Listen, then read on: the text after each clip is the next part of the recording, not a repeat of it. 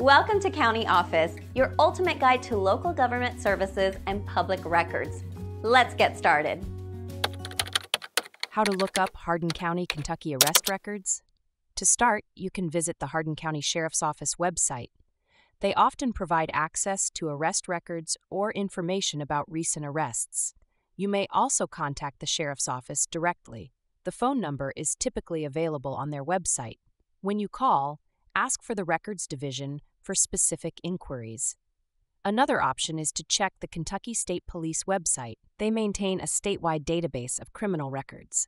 You can search for individuals by name, but you may need to provide some personal information. If you prefer in person visits, you can go to the Hardin County Clerk's Office.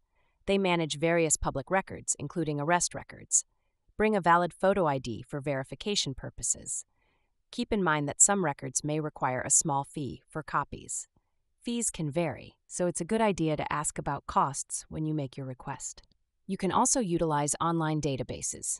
Websites like countyoffice.org can help you find public records, including arrest records for Hardin County. Lastly, remember that some records may be restricted or sealed. This means they may not be available to the public. Always check the specific guidelines regarding access to these records.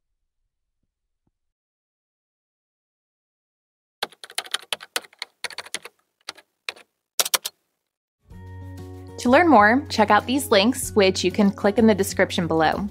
And feel free to comment your questions. We're here to help. Thanks for tuning into our video. Please like and subscribe and leave a comment below. See you in the next video.